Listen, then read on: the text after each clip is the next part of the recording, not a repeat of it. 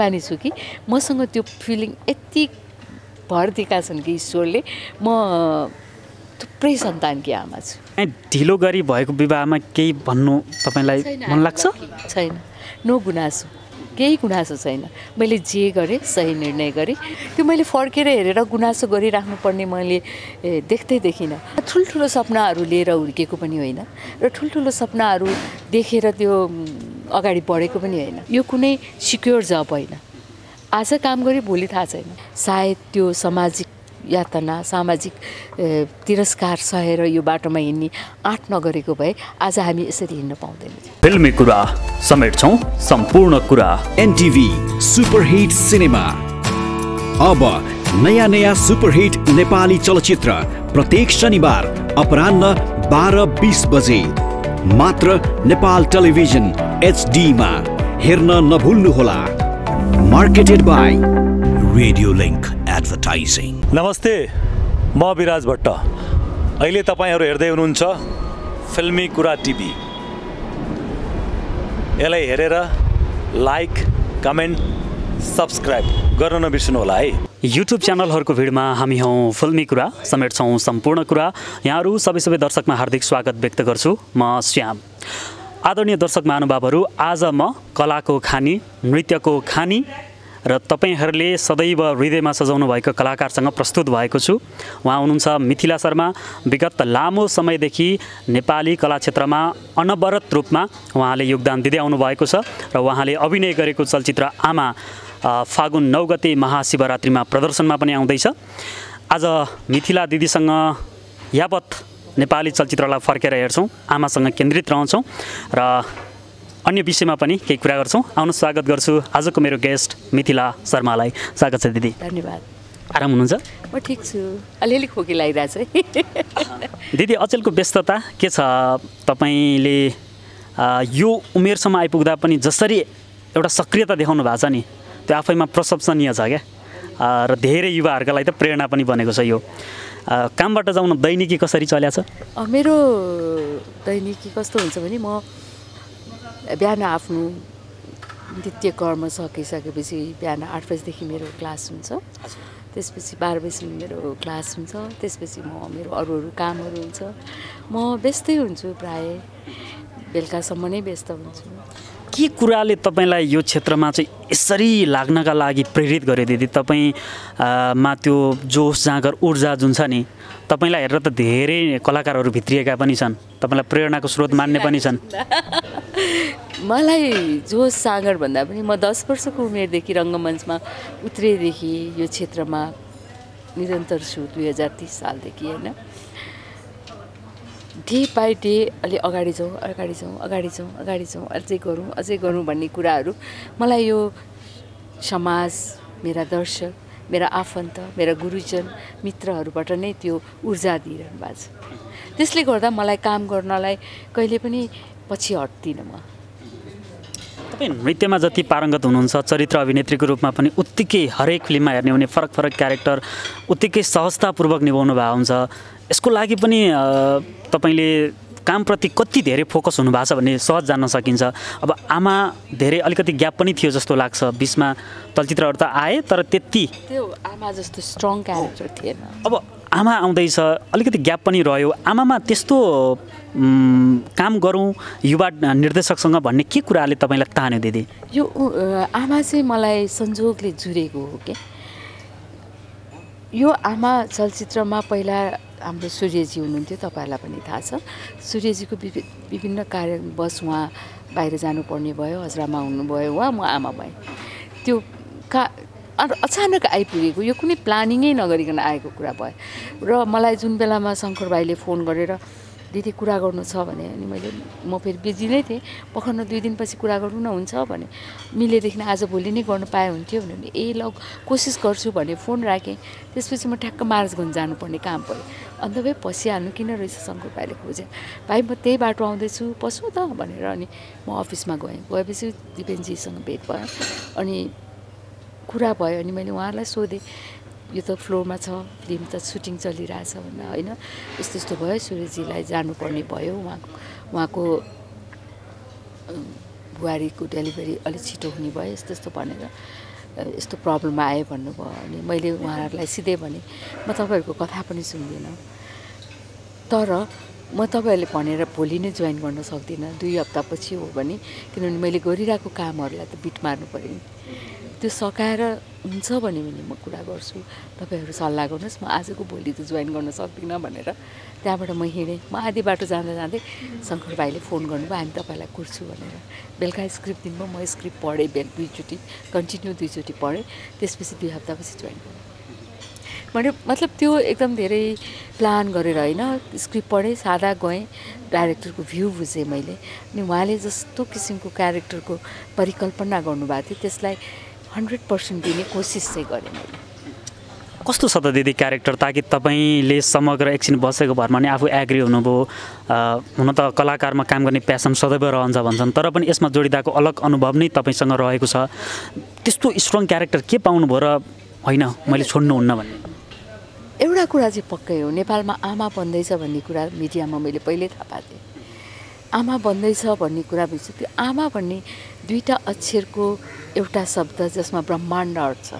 त आमा भन्ने टाइटल भनेको नै त्यो आफैमा गहन छ होइन? त्यसमाथि दिपेन्द्रजीको काम गराइले म पशुपति प्रसादबाटै म एकदमै ऊ भएको थिएँ। उहाँसँग कुरा त गराएको थिइनँ। उहाँलाई बधाई चाहिँ दिएको थिएँ। उहाँले के अरे अवार्ड पाउँदाखेरि। तर उहाँसँग यसरी गफसप चाहिँ मेरो भएको थिएन। बधाई मात्रै दिएको थिएँ मैले। म एकदमै उहाँको कामबाट एकदम आकर्षित थिएँ। र त्यसमाथि उहाँले आमा आफ्नो ड्रिम प्रोजेक्ट भनेर बनाउँदै हुनुहुन्छ भन्ने कुरा मैले पहिल्यै सुनिसकेको थिएँ। त्यति राम्रो डाइरेक्टर त्यति राम्रो लेखक त्यति राम्रो टेक्निकल माइन्ड भएको मान्छेले एउटा आफ्नो ड्रिम प्रोजेक्ट गर्छ भनेपछि त त्यो त पक्कै पनि माइलस्टोनै हुन्छ। त्यो सोच चाहिँ थियो मेरो। दिदी जस्तो आमा भन्ने यो ओड आफैमा तपाईँले भन्नु सारा ब्रह्माण्ड हटेको छ। त्यही आमाले बालबच्चालाई हुर्काउँछ बढाउँछ तर अहिले नेपाली समाजको विडम्बना भन्नुपर्छ बुढेसकालको सहारा छोराछोरी बनिदिँदैनन्। छोराछोरीले अथवा छोरीभन्दा पनि छोराले चाहिँ वृद्धाश्रमसम्म आमा बुवालाई पुर्याएको यो घटना म यो कुरामा चाहिँ एकदम अब्जेक्सन गर्छु छोराले भनेर म मान्दिनँ। छोरा र छोरीमा एउटै कुराको डिफ्रेन्स मैले पाएको छु। मेरो अनुभवले होस् अथवा मैले देखेको समाजको घटनाले होस् के हुन्छ भने छोरी मान्छेहरू जहिले पनि आफ्नो अभिभावक माता पिताले गरेको दुःख उनीहरूको सेक्रिफाइस मलाई उनीहरूले कसरी हुर्काइरहेछन् भन्ने कुरालाई आफ्नो प्रेमी आफ्नो पति चाहे आफ्नो साथी त्यसलाई फिल गराउँछन्। तर केटाहरूले यो कुराको कमी छ उनीहरूले फिल गराउँदैन।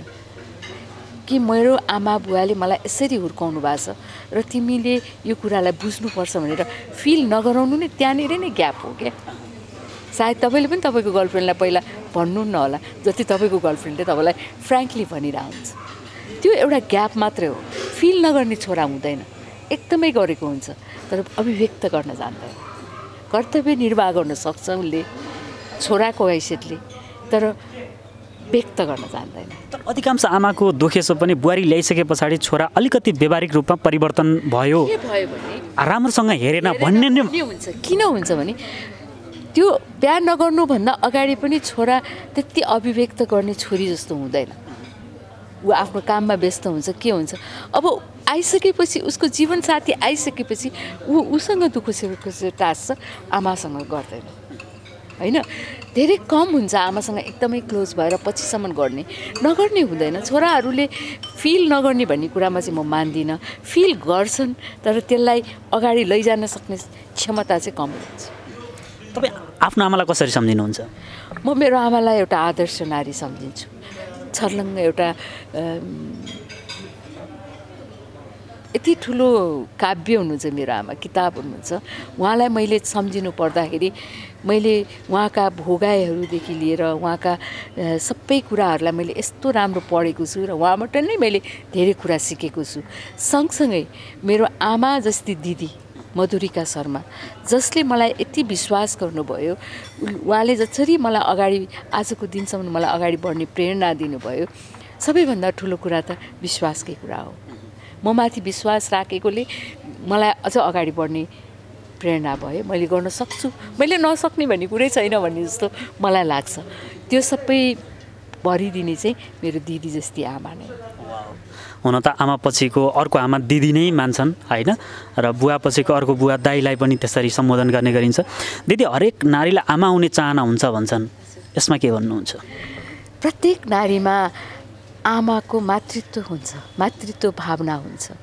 र सायदै त्यो चाहे म्यारिड होस् अनम्यारिड होस् चाहे त्यो उमेर पुगेको होस् नपुगेको होस्। तपाईँले हेर्नुहोस् तपाईँलाई तपाईँको भन्दा धेरै सानी बहिनीले पनि त्यही मातृत्वले माया गर्छ। त्यो फिलिङ सबैसँग हुन्छ र म भाग्यमानी छु कि मसँग त्यो फिलिङ यति भरिदिएका छन् कि ईश्वरले म थुप्रै सन्तानकी आमा छु। कहिलेकाहीँ ढिलो गरी भएको विवाहमा केही भन्नु तपाईँलाई मन लाग्छ? छैन। नो गुनासो। केही गुनासो छैन। मैले जे गरेँ सही निर्णय गरेँ र म खुसीका साथ अगाडि बढिरहेको छु। समग्र यो लाइफ देख्दाखेरि कस्तो लाग्छ? कलाकारितामा जसरी तपाईँले यत्रो वर्ष बिताउनु भयो मान्छेले धेरै पेसा परिवर्तन गर्छन् आफ्नो जीवनकालमा। तर मिथिला दिदी तपाईँ यस्तो व्यक्ति हुनुहुन्छ बाल्यकालदेखि रङ्गमञ्चबाट जुन यात्रा सुरु भयो अहिले चलचित्रदेखि लिएर विभिन्न होइन विज्ञापन अथवा भनौँ टेलिफिल्म यसमै रमाउनु भयो। अझ नृत्यमा त यति पारङ्गत तपाईँ हुनुहुन्छ तपाईँबाट आउने शिष्यहरूले अहिले भनौँ न लिड गरिरहेका पनि छन्। थुप्रै छन्।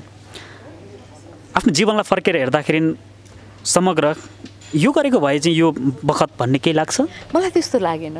त्यो मैले फर्केर हेरेर गुनासो गरिराख्नु पर्ने मैले देख्दै देखिनँ। म ठुल्ठुलो सपनाहरू लिएर हुर्केको पनि होइन र ठुल्ठुलो सपनाहरू देखेर त्यो अगाडि बढेको पनि होइन।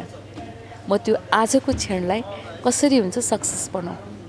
र मेरो हातमा भएको कामलाई म हन्ड्रेड पर्सेन्ट न्याय गर्न सकौँ। म मेरो कामप्रति त्यत्तिकै लगन भएर लागौँ भन्ने मात्रै ध्यान भयो मलाई। म अलि परसम्म पनि हेर्दिनँ।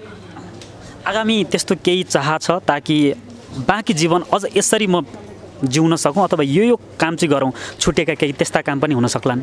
छुटफुट त सायद जीवनमा थुप्रै भयो होलान्। अब त्यसलाई फर्केर हेरिराख्ने समय पनि हुँदैन। र यो कुरा यही क्षेत्रमा हुर्केँ यही क्षेत्रमा खेलेँ यही क्षेत्रमा नाचेँ र यही क्षेत्रसँग रिलेटेड भएर जीवनको अन्तिम क्षणसम्म काम गरिरहन पाऊँ त्यो नै मेरो लागि सौभाग्य हुन्छ। र आजसम्म मैले जति पनि मेरा जीवनमा आएका सबै कुराहरू मेरो दर्शकहरूको शुभेच्छा र उहाँहरूको आशीर्वाद र मेरा आफन्त गुरुजन सहकर्मीहरूको साथले नै हो। यो साथ सधैँ पाइरहँ र म धेरै ठुलो त भन्दिनँ। जीवनको अन्तिम क्षणसम्म चाहिँ यो क्षेत्रलाई सम्मानपूर्वक अगाडि लान सकौँ। अब अन्तिममा जाँदा जाँदै तपाईँलाई मनपर्ने नेपाली कलाकार मेल र फिमेलमा को को हुनुहुन्छ? ताकि तपाईँसँग सहकार्य गर्ने त होइन सुरुवाती समयमा चलचित्रमा आउनेदेखि अहिले नवआगन्तुक हे- कलाकारसम्मले सहकार्य गरेका छन् तपाईँसँग। तपाईँले त हरेकको नाडी छाउनु भएको छ त्यो भएको हिसाबले एउटा कुरा चाहिँ हो म अहिले तपाईँलाई सबैको नाम भन्नु भने मैले डायरी पल्टाउनु पर्ने हुन्छ सबैले आ आफ्नो समयलाई प्रतिनिधित्व गरेका छन्।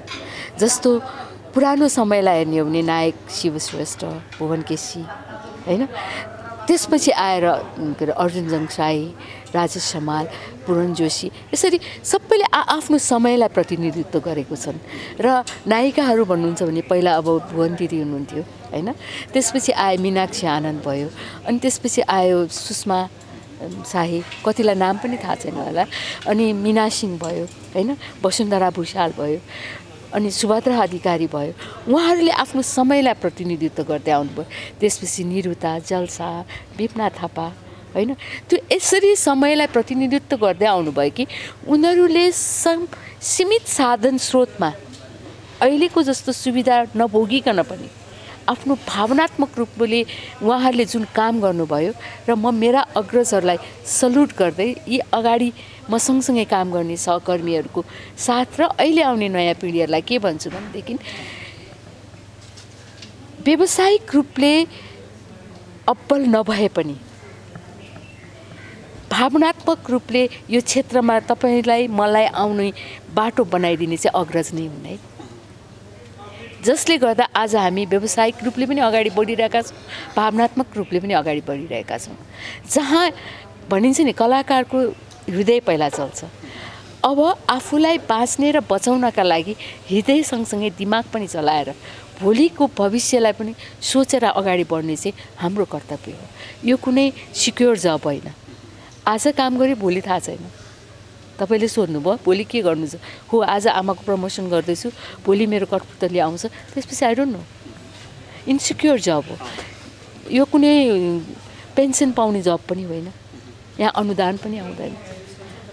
Out of vision out of mind केही गरिरहनुहोस् काहीँ न काहीँ पुगिन्छ। सँगसँगै आफ्नो बाँच्ने आधार र आफ्नो कर्तव्य निर्वाह गर्ने बाटो हामीले खोजी चाहिँ राख्नुपर्छ। किनभने यो कुरा अग्रजहरूले धेरै भोगिसके। अहिले पनि भोग्दैछन्। भोलिको दिनमा अरूले नभोग्नु। त्यसका लागि मात्रै भनेको मैले। त्यसो त दिदीको पूर्ण जीवनलाई केलाउने हो भने सालाखाला नेपाली चलचित्रको इतिहासलाई नै हामीले समग्र दर्शकलाई प्रस्तुत गर्ने एउटा माहौल बनिसकेको छ। तपाईँको पूर्ण जीवनलाई केलाउने हो भने सिङ्गो चलचित्रलाई नै तपाईँले जस लिएरै हिँड्नु भएको छ। यो चाहिँ नि कोसिस गरेको छु। हन्ड्रेड पर्सेन्ट सही छु भन्दिनँ म। किनभने मबाट पनि म पनि पर्फेक्ट मान्छे त होइन। गल्ती पनि हुन्छ गल्तीबाटै सिकिन्छ। कमजोरी हुन्छ कमजोरीले नै तागत बनाइन्छ भनिन्छ। तर मैले देखेर चाहिँ म त्यही भन्छु अग्रजहरूले सायद त्यो सामाजिक यातना सामाजिक तिरस्कार सहेर यो बाटोमा हिँड्ने आँट नगरेको भए आज हामी यसरी हिँड्न पाउँदैनौँ। हुन त दिदीसँग विभिन्न अध्यायमा कुरा गर्ने त्यो भनौँ न समय तपाईँले गुजार्नु भएको छ। हामीले हरेक टपिकसँग तपाईँसँग जोडिने हो भने त्यो चाहिँ एउटा बहसको विषय नै बहसको विषय नै हुनसक्छ। पन्ध्र मिनटमा कति नै कुरा उठाउन सकिन्छ र पन्ध्र मिनटको यो संवाद यहाँलाई कस्तो लाग्यो? मलाई एकदम खुसी लाग्यो। तपाईँले मलाई यो आमाको सन्दर्भमा हामीले एउटा जुन सो मौका पायौँ जुर्यो त्यसको लागि धेरै धेरै धन्यवाद। तपाईँहरूले जसरी चलचित्र क्षेत्र लिएर समग्र यो कला क्षेत्रलाई नै एउटा जुन टेवा दिइरहनु भएको छ र तपाईँहरू नै हो। हाम्रो दर्शकसँग हामीलाई पोजिटिभ नेगेटिभ जसरी हुन्छ उहाँहरूसँग जोडाइदिने। र क्षेत्र कर्म क्षेत्र कहिले पनि नराम्रो हुँदैन। चाहे तपाईँको पत्रकारिता क्षेत्र होस् चाहे मेरो चलचित्र क्षेत्र होस् रङ्गकर्म क्षेत्र होस् व्यक्ति नराम्रो हुनसक्छ क्षेत्रलाई सम्मान गरौँ कर्मलाई सम्मान गरौँ। यही भन्दै अगाडि बढ्नुहोस्। तपाईँहरूलाई म यही शुभकामना दिन्छु। निकै राम्रो। दिदी धेरै धेरै धन्यवाद। Welcome thank you thank you बाबु अब सयौं पसल धाउनै पर्दैन। कोटेश्वर एरियाकै लोकप्रिय jeans collection Emax fashion wear